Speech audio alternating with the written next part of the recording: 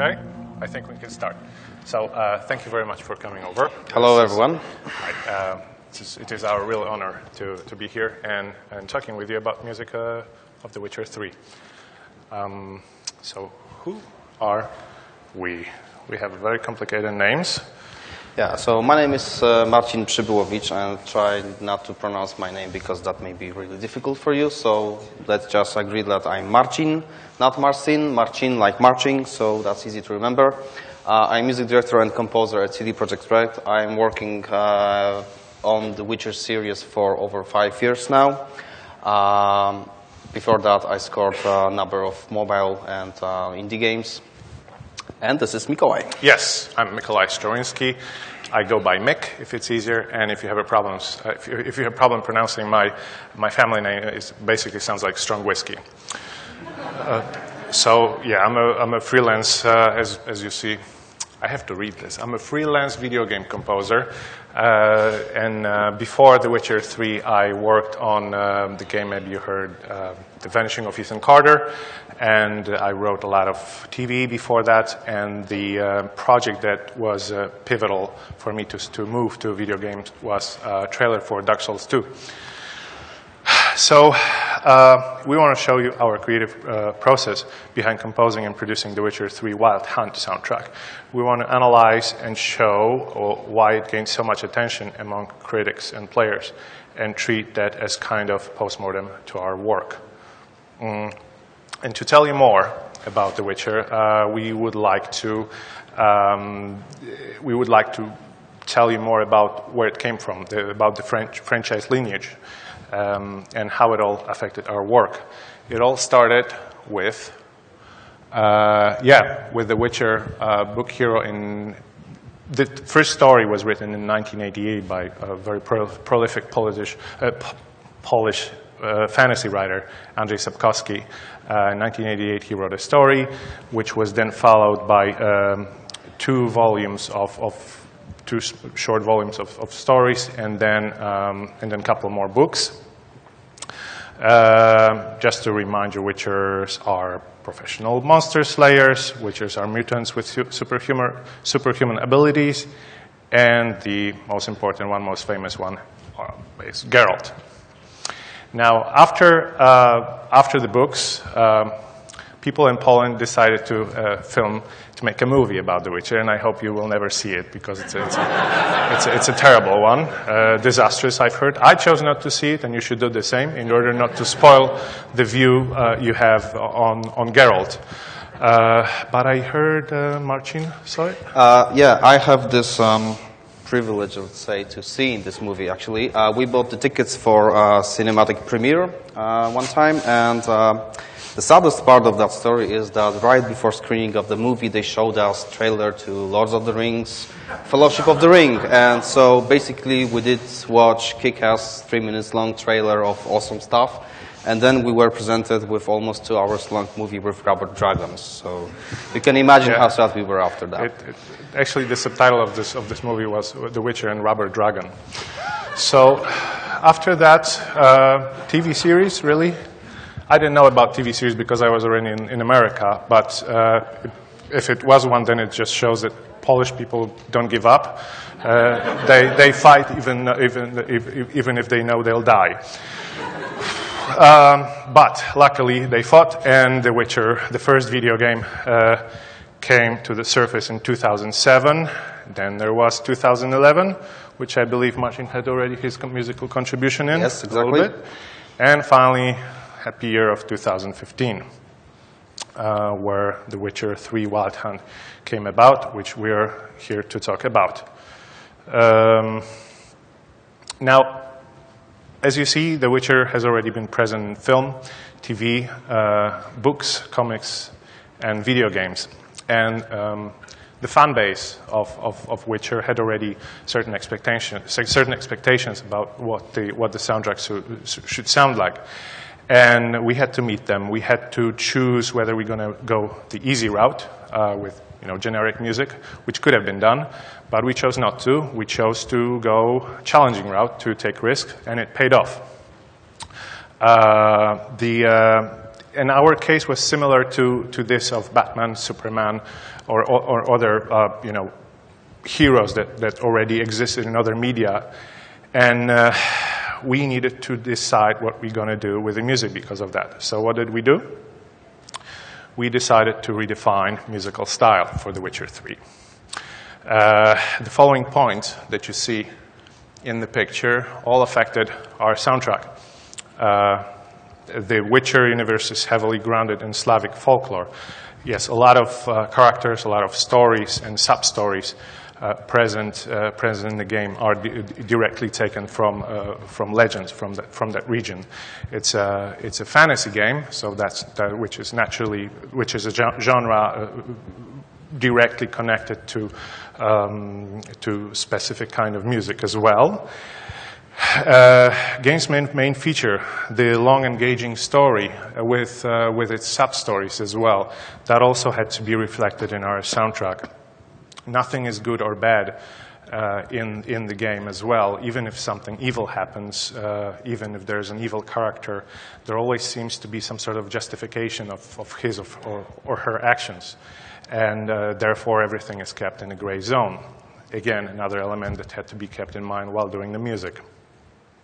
There is a lot of choices and a lot of consequences that, that, that players are exposed to. And there is the element of non nonlinearity, sorry, difficult word for me, uh, which, uh, which is connected with the fact that it's an open world. You know, player can go whatever, players can go wherever they want. Uh, and, um, but everything had to be done under the linear music, the, the um, umbrella, under the umbrella of film-like music, which, which help tell the story. We're going to continue on that later on. And now uh, Marcin will tell you more about the pre-production process. Yeah, so once we know what we are up with, we are ready to actually start working on the game itself. So first stage of production is obviously pre-production. We had to figure out how to deal with issues and challenges that were ahead of us. Uh, the most important thing was to do as much preparations as possible to basically save time, and so production phase would be as easy as possible. Obviously, mm, not every time happens that uh, a lot of planning translates to complete success and something didn't work out quite good along the way. Uh, we're going to address that issues also. Uh, but uh, basically, all those sets of, uh, of those words you can see here on the slide uh, basically can give you some impression of what we aimed for with planning our soundtrack. So first of all, we decided to mix Slavic folk with big contemporary sound. Normally in um, fantasy games, people expect big, broad orchestral sounds with choirs, percussion, strings, and so on. Uh, because of the Witcher franchise is so heavily grounded in Slavic folklore, Slavic mythology, that was kind of obvious for us. We would have to also reflect that somehow in music. So uh, Slavic folk. Uh, then uh, that was when we started working on Witcher 3. That was a really important moment for us uh, regarding technical stuff uh, because we were just uh, finished with The Witcher 2. We decided to leave Fmod, game audio middleware, to Wwise, so that opened up quite new possibilities for us regarding how we would deal with game audio systems and stuff like that. And that also uh, goes to another thing that Mikołaj uh, already uh, uh, talked about briefly. So our main focus on, on soundtrack was to make music feel like it was composed for every single player separately. So we wanted to achieve that effect that when someone plays the game, it, he or she can feel that music was you know, tailored just for him. So one thing to, one way to, to, to, achieve that was to make sure that music would feel like basically a film, like a long story. So linear in non-linear environment. We need to remember that we're not also on, only dealing with a video game, but uh, th that particular one was a very complex one. That was open world RPG. Uh, with non-linear story, which was branching on multiple levels. So music system had to also address those issues and uh, handle the music itself in a way that basically that could be done. Uh, another thing is obviously budgets and costs of live recordings. Uh, we knew we had a very big game ahead of us to score, and doing this with the live orchestra would cost tons of money. And we knew we would, wouldn't probably get as much budget as we wanted to, so we had to think how to be clever about that and how to basically do what we aimed for, but uh, you know, make it cost less, right?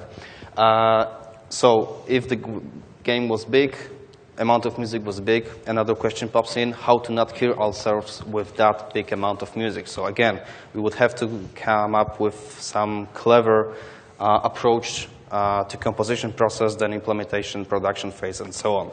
Uh, one of the uh, ways we decided to, to do that was to uh, have a greater, greater use of leitmotifs compared to our previous games. And the next slide briefly shows you how much of those thematic work we actually did throughout the whole game. Obviously, we have uh, our main theme along uh, with two other themes that are from previous games. These are our legacy themes. And apart from that, we can see we have a bunch of uh, specially composed, custom-made themes just for The Witcher 3. Uh, those themes obviously served as a bridge and help uh, the vast amounts of music uh, sound cohesive because that was uh, one of the uh, exactly challenges and, and, one of the most important things we wanted to maintain. So, okay, we know what we're gonna do. Now we have to answer the question, how are we're gonna do it. Uh, since we are about to do uh, some Slavic folk music, we need to think, okay, uh, how are we going to approach that? We had a really big database of uh, folk music from Poland, Ukraine, Hungary, Germany, Slovakia, Russia, you name it. Uh, at, at some point, we just it, it struck us actually that maybe we shouldn't just treat it as a point of reference. Maybe we should you know, reach out for some bands, some performers maybe, and get in touch with them, invite them to cooperation, not to work for us, but work with us, and uh, try uh, to work on something completely new and, and original. Uh, our choice was uh, the band Percival, and I'm sure most of you are already familiar with them. Uh, of course, other great musicians as well. We're going to introduce them later on. And um, about these things that didn't work out very well.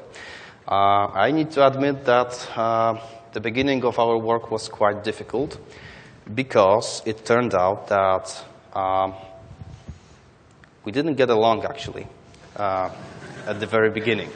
Why is that?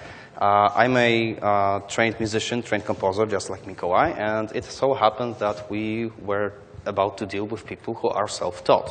What does it mean? That means they do not know how to read musical notation. That means they taught themselves how to play instruments. So their playing techniques would be much different than, for example, playing techniques I was learning when I was at musical academy. Uh, that meant also that they quite didn't understand what I was talking to them because I was using musical terminology. So, uh, to be honest, the first day of the recording session, we were basically wasting money, burning money, because, you know, time flies, uh, time is money, and we didn't get any stuff recorded. We just struggled, we tried, we discussed, and um, one, th one thing I discovered, they weren't even able to record the click track, which is pretty standard procedure when you go to a recording studio and you are about to do music, right? So at some point, we realized we have to figure out a way to basically communicate with each other, to find some common ground, some common line of communication, and follow that line. So um, at some point I decided to just ditch this whole uh, you know, stuff I prepared, and I was prepared very, very well. I presented them sheet music, mock-ups, spreadsheets with themes written down, broken down to tempos, time signatures, key signatures. I was really, really well prepared, and believe me, I wasted so much time on that to, to basically not suck during that process. Uh, that all went um, to trash, and we had to figure out what to do. So we thought, okay, so maybe if we cannot communicate with each other on you know, language level, maybe we can communicate on musical level. So instead of just doing recording sessions, maybe we should organize a jam session. Let's improvise a bit. So pick that instrument, pick that instrument, just play me four chords, just play me some riff on top of that. Uh, maybe we could try improvising some vocals on it. And suddenly magic happened. Uh, they started to play, and they started to play with the way I wanted them to play. Uh, they started to be happy about it. I started to be happy about it because, you know, we were progressing. And um, I could say the rest is history because uh, we end up having kick-ass material after, what, seven or eight days of recordings. And that was 12 hours a day, so, you know, pretty long time. Uh, and then we were able to actually take away this material, go to our studio, edit it, and work on it. Uh, so once you know that story, maybe we can now talk you through uh, the process of selection of instruments we, we pick. Uh, since the core of our soundtrack would be on solo performances, we picked our instruments very carefully. We looked uh, for unique sound, obviously, but also what we cared about was the history behind each instrument, because we believe that if you pour a lot of soul into the music, people will hear it and basically love it. So the first one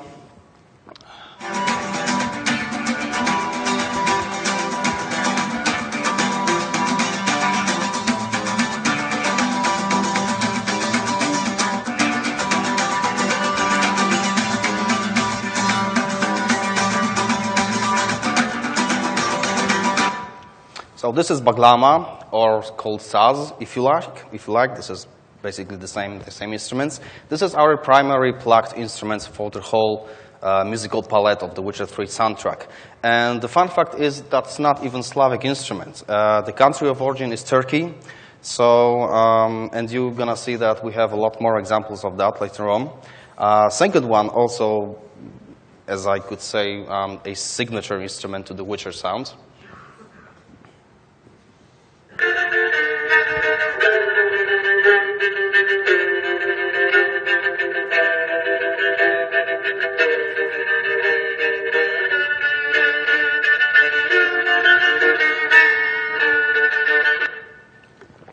That's one not, also not Slavic. Uh, that comes from Eastern Mediterranean, so Greece and Turkey. And interesting story behind it is that Percival actually built that instrument themselves. Uh, the design was based on original medieval iconography, so they looked for proper wood, proper strings, proper materials, and proper craftsmen, basically, to, to, to, to make that instrument. Uh, the next one is really interesting.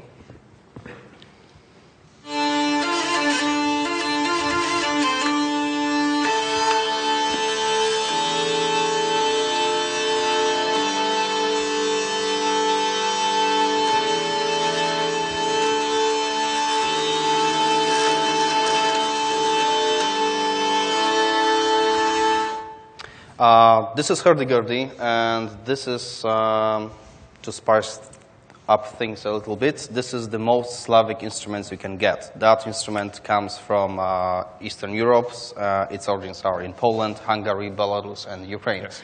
That particular one is very, very special because it was custom built for Robert uh, Jaworski, uh, folk virtuoso from Poland. Uh, regular hurdy-gurdy has uh, three strings, that one has seven. Uh, thanks to that, uh, the instrument has much bro broader uh, scale compared to regular ones, and also the sound of the hurdy-gurdy. That one particular is much more darker, grittier, and probably you could say more devilish. If, if, if I may say something, it's wor worth noting that the name hurdy-gurdy uh, was uh, invented by Swedish cook from a Muppet Show.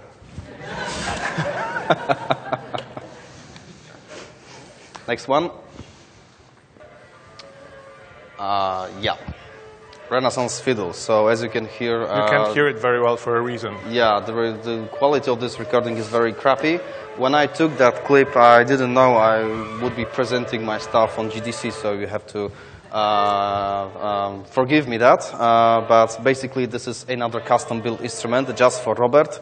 It's based on original Renaissance design, and the special thing about it is that it has a pickup, like a guitar or a bass guitar, so you can basically plug a cable into it, amplify it with the speakers, apply uh, some guitar effects, and, and achieve really, really uh, crazy uh, sound. And how does it sound? Well, I have a short clip for you.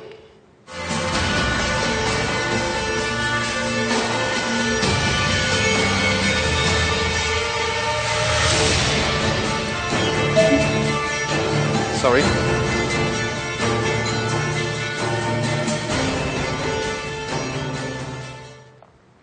Uh, yeah, next one is also very special.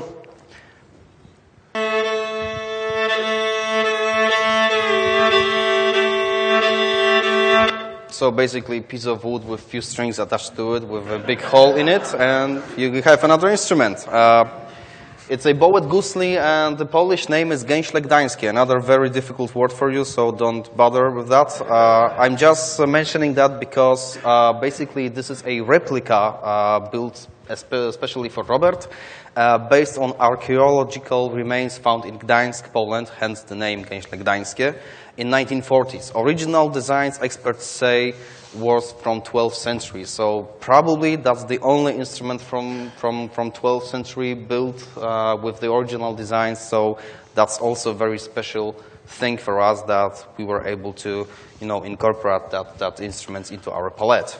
Uh, another ones? Yeah, yeah. So while, while Marcin uh, recorded uh, Percival in Warsaw, I took care of some recordings in Los Angeles and recorded some uh, wonderful musicians.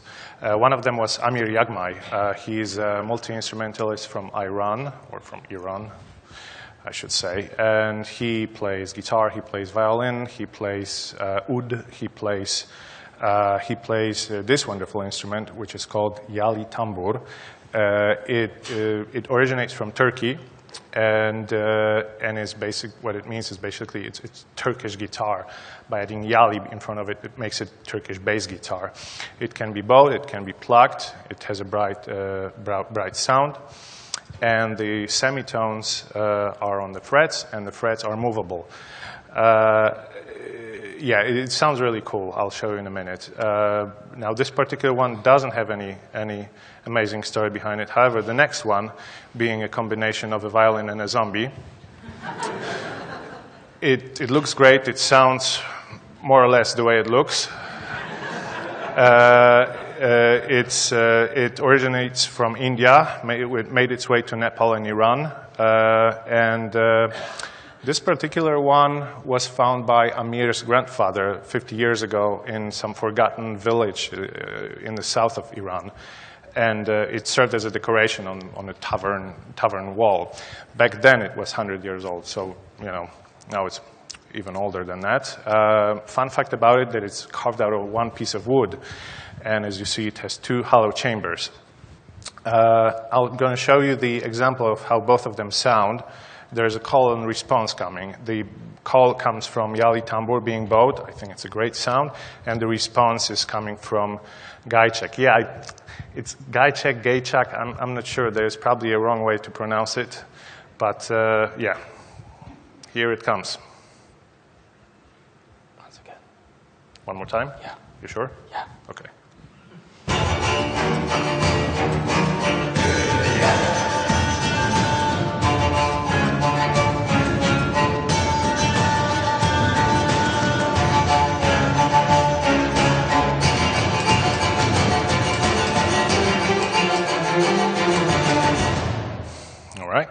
So those are the, the two instruments. Uh, one more instrument that I want to tell you about is viola. That's uh, not any viola because this one was made in 1610. So actually very close to when, when Geralt was alive. Uh, it's Maggini, which is the viola equivalent of Stradivari, Stradivarius, and it was discovered in a closet in Germany uh, in bombed down Dresden city, and it was in pieces torn to pieces. I'm not sure how the player Andrew Duckles got hold of it, but he did. And he restored it in Los Angeles. Took a year. It took a whole year to restore it. A lot of money as well. A guy named Michael Fisher uh, restored it. He had to find uh, exact kind of wood that, that was originally in the instrument. So it turned out to be you know, like a Frankenstein viola. Uh, it's very large. Back in 17, uh, back in 17th century, people didn't play viola like this. They played on lap, like a, like a cello, vertically. Uh, it was much bigger. Now, Andrew Duckles is a big guy, uh, and he can play it like this. He's a virtuoso. So, but, and it sounds amazing. I don't have an example here, but it's in the soundtrack. Uh, so yeah, that's, that's Andrew's viola. There are more instruments. Uh, one more time. Okay, more instruments, as you see, uh, that we will not have time to talk about. Uh, they were all live, recorded. Oh, thank you for that. And this you is ruined this, that. Yeah, this is to, so Uh, okay, so to take you briefly, uh, bouzouki, lira, vocals, electric violin, cello, electric cello, acoustic, cello, and vocals, lots of them. Yes, a lot of them.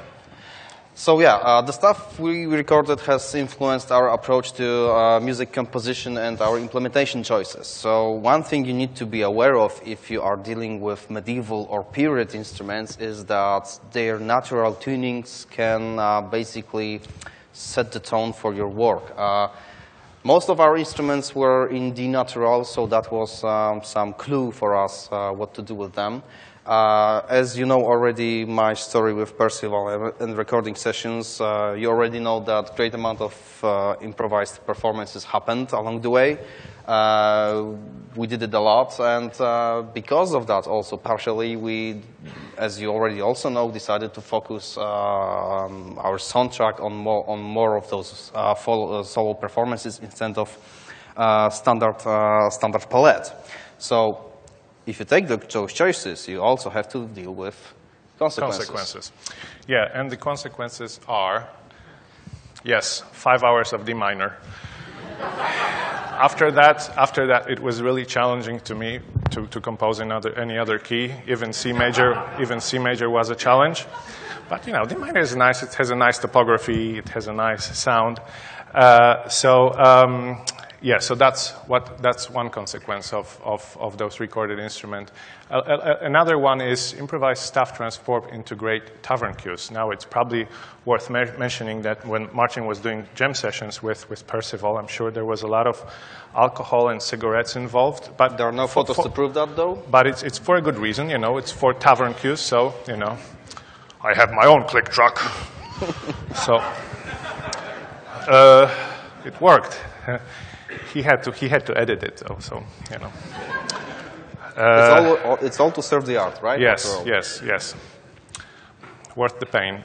Uh, and uh, yeah, those solo, as you see, those solo parts became the core of the soundtrack, and the songs. Songs, Yeah, Marcin will uh, tell more it turned out that songs happened to be important part of our soundtrack. Uh, we had three brilliant vocalists uh, from Percival, uh, and we used uh, their talents a lot. And I think the most uh, bright and shiny example of uh, how much love and care we, we, we, we took about uh, songs is a Priscilla song case. If you played The Witcher, you already know that uh, at some point of the game, Geralt is attending a uh, pretty awkward concert for him because Priscilla is singing song about his love to Yennefer. Um, interesting musical story behind it is that this song has been translated to all seven languages we did, so Polish, English, German, Russian, French, Japanese, and Brazilian Portuguese. Uh, that was uh, kind of a technical uh, challenge for us to not only compose the beautiful song, beautiful ballad, but also to make it work in all those seven languages, to translate that song to, you know, fit the number of syllables within the phrase, to sync it perfectly with the lute track. That uh, took us some time to, to, to, to figure it out how to do it, and I think that's the good example to actually prove that uh, basically we care about songs very much. Yes, impressive. Um, My turn. Yep. So, musical direction. Don't focus on the game. Uh, Do you? Yes, good. Okay, it works. A set of mechanics under player's disposal. What this complicated means, sentence means is that some other games have implementation done down to almost every step of the player. This approach, however, might not serve best in terms of telling the story and the overall narration of the game. So, uh, well, yeah. So if you take the music away from any medium that it, that it accompanies, uh, it, it, it has its own emotions, it has its own, it has its own pacing. And, and we really loved how the, the, the natural pacing of music dances and intertwines with, natural, with, with the pacing of the game, how it kind of dictates it, uh, rather than the other way around. And so, yes, we could have done the implementation in more detailed way. In more detailed way, there are games that have the impl- audio implementation done uh, more more technically. However, uh, we chose not to do that. We chose to let the music sing, and that was a risk, and I think it paid off well. Uh, like I said, the, uh, the story and its pacing comes from music as well. Um, it, this approach also makes the music matter. Uh, it gives its own voice and story to tell, and it let the uh, emotions shine as well from the music, not being interrupted by you know little little uh, sync points that, that go to uh, uh, the sound engine. Um, and scoring with songs. Yes, songs is, is just, a, you know, everything on, it's on top of everything else. Just make, just, this approach just makes the music even more important. Yeah, as you probably know, uh, we use uh, a lot of songs uh, throughout the whole game, and uh, obviously, um, one might ask the question, okay, but what about the um, correlation between songs and spoken dialogue, for example? So, uh, we don't obviously want to draw the uh, player's attention out of the dialogue because of, you know, some chick is saying some words with song, right? So. Uh, we decided we would uh, basically use songs in gameplay situations. Uh, what gameplay situations? It turned out once we started to test our game uh, at our headquarters uh, with, with the music that slaying monsters and casting spells feels much more awesome when you have kicking rock riffs and wailing vocals basically, you know, supporting you. You you can actually feel like kick-ass monster slayer. So uh, that was uh, uh, really no-brainer for us to decide that, okay, so our combat encounters uh, would be scored with songs. And uh, no matter if the song would be sung in Polish, Ukrainian, Hungarian, because we have all of those, really. But that doesn't matter. It's all about emotions and the way the song makes you feel about yourself and feel you as Geralt uh, a monster slayer. So that's why uh, I think our songs shine in the soundtracks, shine in the game, and are one of the ways we are actually pushing the music towards the front of a player. Um, to, to, summarize that part of uh, the presentation, we have short video clip for you, which I hope presents all of those thoughts we presented for you. So take a look and hear.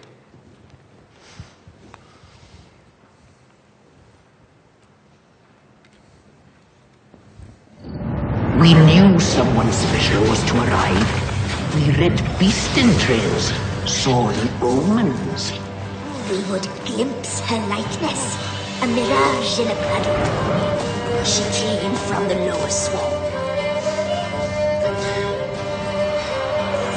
We knew not at first it was her the omens had spoken of. A child of the elder blood the sown seed that will burst into flame.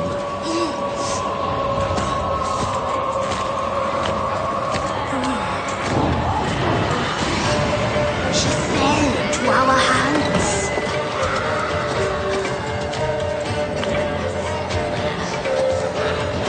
Elder blood. Mmm, the blood of the traitress.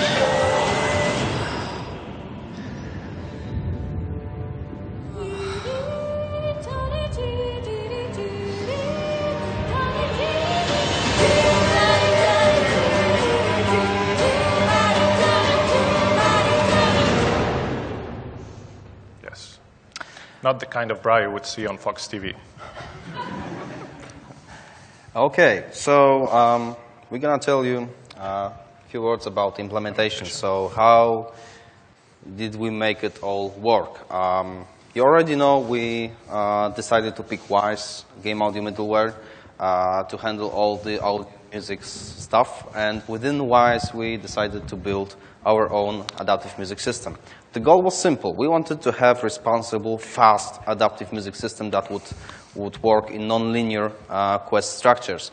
Obviously, we use layers, parameters, and states, but I, I, I guess that's obvious for all of you here. Uh, the important thing regarding our system is that it's based on two pillars.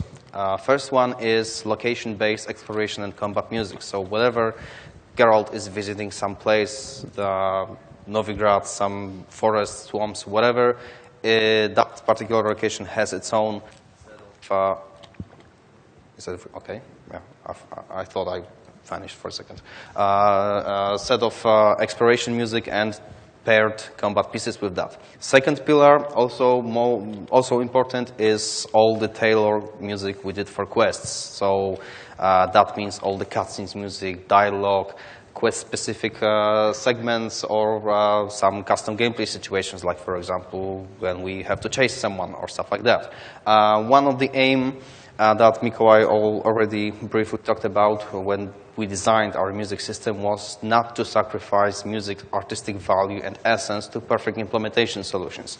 Uh, we decided to at first be um, at first try to uh, um, how do I say that um, think about um, narration of music and what kind of story music has to tell itself, uh, rather than uh, just you know thinking about it as a set of assets and just divide it mathematically. Um, this is one of the examples of uh, one of the location in Prologue, White Orchard, and each of those uh, green blocks represents one cue. Uh, these are standard exploration and combat cues here, as well as uh, that tailored music I mentioned for quest events and cutscenes. And this is how they work together. So even though we uh, did try to maintain this artistic beauty of music, and have the music its own voice, we try to do as sophisticated system as possible. And that, real, that little spider web is, is showing you uh, uh, how basically uh, that translates to, to technical side. Don't be confused uh, about the visuals. This is Fmod, and I just use that to, to sketching because I like sketching uh, in Fmod, but we are still on Wwise, okay? Uh, so to summarize briefly what we just told you. Yes.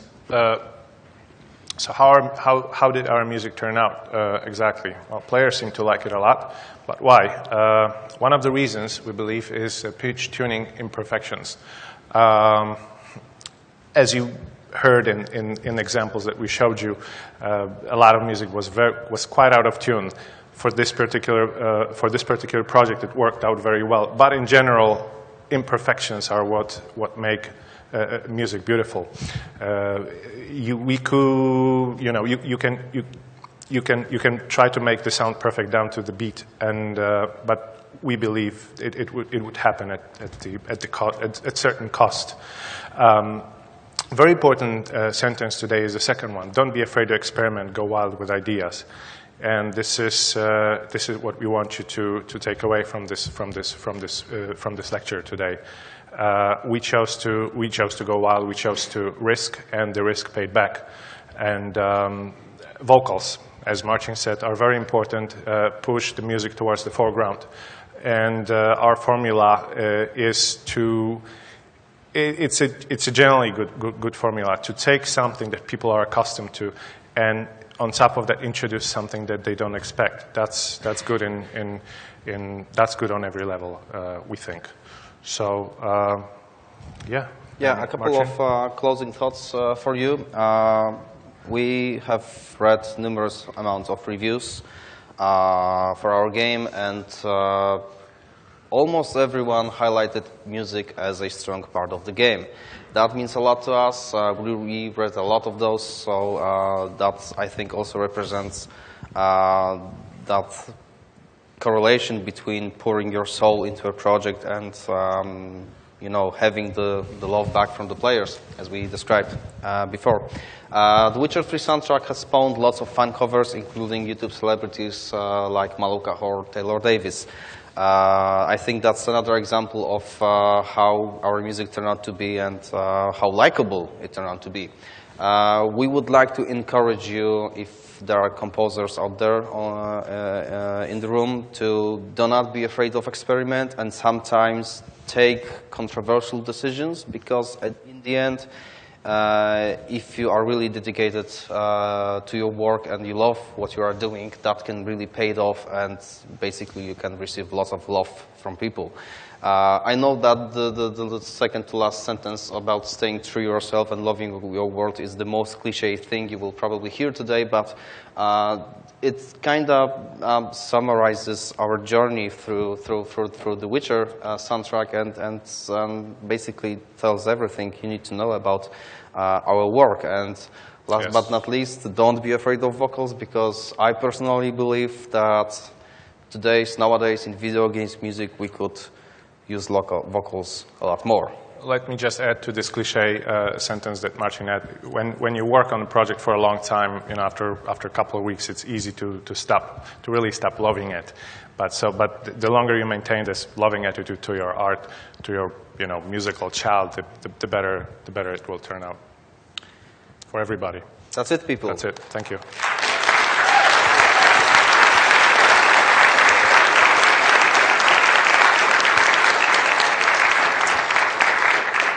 Are we there have any questions? questions? Microphone. Okay. Or shout very loudly. Hi there, my name is Isabella Ness. I'm a composer Oh. and a sound designer. And um, I have one quick question about your theming, um, specifically with Song of the Sword Dancer and the Vagabond. The melodic theme is the same in those, but the rhythm is very different. And did you pay very careful attention to how you made it out the rhythmic displacement? And did you have any ideas about how you wanted that to affect the player experience? Vagabond and second. Song of the Sword Dancer. Uh, okay. Oh, wow. Oh. Okay, I haven't expected that. Uh, Yes, is the answer. yes, we had to experiment with rhythm a, a, a lot because Well- we were in the same key. That's one reason. You picked it uh, very, very different pieces because uh, the Vagabond is a exploration piece, an exploration piece, and the Song of the Sword, Dancer is shining example of wailing vocals during combat, right? So, um, God damn it, I don't even know how to respond to your question, really. Uh, I'm confused. They, I, they have the same melody. The theme is exactly the same between them. yes, that's because we tried to um, recycle the wo- material. Oh, that doesn't sound good. It was okay? very effective. There was this slide about thematic work, so that was important for us to basically use themes as some sort of glue uh, with the whole soundtrack because of the distribution of uh, regions and, other, and, and musical influences we had uh, among those. Uh, so that was pretty obvious for us. We had to, uh, or we wanted to, to, to, use some pre-existing themes or themes we, we composed throughout the whole game. But regarding arrangement and rhythms, um, I don't think there is that much of a theory or ideology behind it. Uh, I think it just happened by itself uh, during the process of composition, and yeah, basically that's it. Thank you.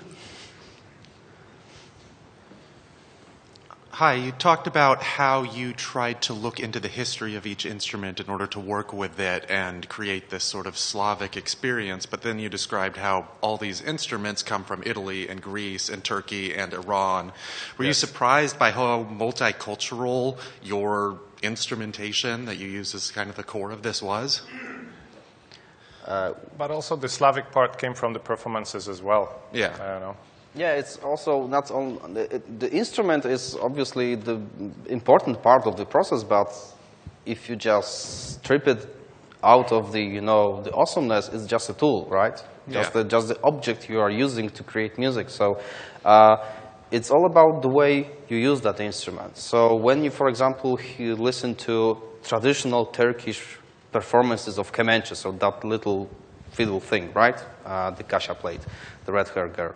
Uh, it sounds very different uh, compared to what we uh, did with, with kemençe in our soundtrack. So it's how you use it, what kind of sound you produce out of that instrument, what kind of scales you use, for example. Uh, so uh, that, I think, also um, mm, uh,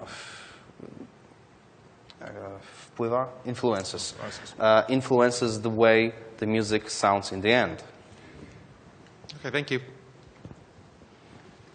Hi, guys. Really, really enjoyed the talk, uh, especially the ethno- ethnomusicological overview of all the instruments. Uh, it's really cool to just see the variety of timbres and styles and that are all associated with that. Um, my question regards uh, when you're working with musicians like as you were saying, that come from very different backgrounds. They come from a sort of a self-taught or a by-ear route, and you're trying to work with them. You're working to develop certain types of motivic material that you can then use. You're coordinating with musicians in Poland, musicians in Los Angeles, um, all of which are kind of working in, in different spheres, I guess. Like, how do you how do you bring that all together? Uh, for the final product, or did you find it? Did or what kinds of difficulties did you find as you were doing that? Did we find difficulties? Well, you did at the beginning. I didn't. it was, it was, you know, partially the improvisation uh, that was done on, on both on both continents, and uh, and partially it was, you know, playing the, the themes that were pre-composed already. Uh, I don't know, Marcin, by the way, how you how you made these guys from Percival to play the themes if they didn't. Did you sing? La la la la. Yeah, I was actually um, trained in singing, so yeah, just don't ask me to sing. Okay, anymore. no, I'm not. Uh, and then we swapped files, and uh, that's what made it cohesive. Yeah, the bottom line was that with those all those recording sessions uh, in LA, in Poland, the, the plan was to build our own musical library we would use to, to uh, build our soundtrack around it. So we ended up with hours of recordings. We edited up, we edited up, we chopped to, you know, uh, licks, musical sequences, riffs, loops, drum patterns, because we also did record drums, but we forgot about it when, he, when we did presentation. Um, so think about it as your new sample library you, you buy, for example. So that's, that was our base set of uh, sounds uh, we wanted to use in that project. And whenever we felt that, for example, oh, that, that Baglama part or that Yayli Tambur, that Yayli Tambur lick or, or riff would, would feel useful in that piece, we just used that. So it was all about having additional uh, firearms under our sleeves, basically. Cool, thanks. Hey guys, great talk and also amazing music in the game. Thank you very much for Thank you. Thank you. giving me hours of enjoyment. um, I have two quick questions, and the first one is: What kind of direction did you give the musicians to get um, the best results in terms of? Did you say this is a battle scene? Just be angry with your instrument. What kinds of direction, or you know, this is a romantic scene, or this is a romantic piece? What kind of direction did you give your musicians? Uh, well, um, I believe that, uh, and I also work with uh, my supervisors in the same way, that if you are well briefed, uh, you're going to deliver uh, the best possible work. So my responsibility as music director was to brief them as much as possible and to provide them all the necessary information they had. So when we did recording session, we had already working game, so we were able to present them some gameplay videos, some concept art, renders, uh, game art, uh, and also tons of scripts, uh, spoken dialogue lines, and, and just, you know, my imagination working with, for example, saying them, okay, now we're gonna play tavern piece, so imagine that we're in this wooden medieval tavern, there are lots of dwarfs, so, you know, uh, kicking the, each other asses, for example. there's some bum in the corner, drunk and sleeping. Uh, there's some uh, um, um, some um, courtesan or prostitute, for example, you know, looking for customers. So imagine that thing, and we need to come up with some musical mood for that. So Also, you can put the players into into certain modes by by telling them how how to feel. Like you got to make this more angry, feel more anger. Right, you know, you cannot really uh, put this on, on, on paper. You you know you, you describe a certain situation. Like I'm sorry to say it, but maybe you know imagine like someone died in your family. You know this. Wow. Kind. So it's it's horrible, but it's, this evokes extreme emotions. You know which which you want to catch. while One more you're thing that, that also worked uh, in my case that um, surroundings. So if you are in the studio environment, you have very limited options of adjusting your space. But even small things like, for example, toning down the light can do wonders with, uh, you know, adjusting them, toning them into right emotional mood you want to achieve. So uh, that can also work. Wonderful, and great job on that and in getting the emotion out. The second question is in the, the Wwise implementation of your adaptive music system, how long did that take and how many people did you have working on it? Uh, it took us um, I guess half a year to finally figure out what do we want and don't, what do we need for The Witcher 3. And regarding manpower, uh, we did uh, prototype the system uh, with two guys, so audio programmer and senior quest designer, my friend, but all the implementation was done by me, so just one-man army. Wow. Well, good job. Thank you very much. Thanks. Hello, thank you very much for the talk. Uh, I had two quick questions as well. The first one is about percussion because you talked a lot about uh, your melodic uh, instruments and voices, but what about percussion? Did you record them as well? Uh, did you record performances or uh, maybe more individual uh, strokes and then put them in a Kontakt instrument? And how, how did you handle the fact that probably some performances weren't really like very, very regular in terms of, of tempo? Percussion? Yeah for percussion? Uh, well, two ways, I guess. Uh, when Percival was recorded, they, they were recorded cues, uh, you know, one like songs. So uh, mm-hmm. there was already like a, a, natural accompaniment from from some, some sort of a drum to the song. So both files would naturally go well together. However, the majority, however, the majority of sounds would come from samples. I'm afraid. Okay. Okay. Yeah. Yeah. For that amount of music, you, mm. you want to you want to have flexibility, which which which we didn't get from those recordings, I guess, in terms True. of percussion instruments. Yep. Yeah. yeah. That's why I didn't brag about them, by the way. Yeah. yeah. And uh, so that, that leads to my second question is that how uh, did you manage to handle well uh, the mixing between uh, all these recordings, uh, which have uh, lots of imperfections, I would say, and that what makes them so, so great with more super produced uh, elements that we usually use in our DAWs uh, with virtual instruments. And so how you, did you manage to really well, mix that and, and, and come out with a successful uh, music? Um, I think that uh, begins with uh, the very first stage, so uh, setting up the right microphones and picking up the right recording studio. Mm-hmm. Uh, I was fortunate enough to, to, to have brilliant uh, recording engineer as my friend, so the moment I knew I'm going to, to have you know several days recording session, uh, I just phoned him, asked if he, asked if he's available. Fortunately, he was, and I need to admit that he basically did most of the hard work. So proper microphone setup uh, was the very important process because uh, I didn't even know their instruments could sound in their raw, unedited form uh, that good. So later on, when we took those recordings, we had a very good source material we could work on. So that was obviously much, much easier for us to, you know, apply all those effects, compressors, and other stuff we, we are using uh, during the process of mixing and producing music. Okay. The, uh, the stuff was also mastered in Los Angeles, which helped. okay, thank you very much. Hi, really quickly. Uh, I remember you guys mentioned that the uh, the initial onset of your success in this was allowing the musicians to kind of have a jam session instead of going strictly off of what you what you wrote. Uh, I, I imagine that might create some mess with intellectual property. Is that something you guys had to deal with, or how did you deal with it? Oh, they sold it all to CD Projekt. okay. There you go. Oh, cool. Okay, I guess that's Thank it. Thank you very much for Thank listening. Thank you very much. Thank you.